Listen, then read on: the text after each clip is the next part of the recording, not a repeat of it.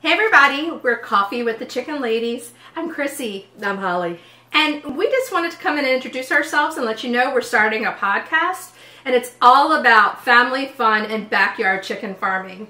So what we are is we're best friends for 40 years and we have 25 years between the both of us with chicken farming.